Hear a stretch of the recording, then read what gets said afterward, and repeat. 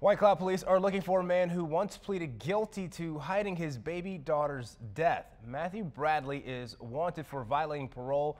In 2015, four-month-old Natallya Rich was found dead in a crawl space at her grandmother's home in White Cloud. Bradley told police he was napping with the baby. When he woke up, she was dead. He says he panicked and hid the body in the basement.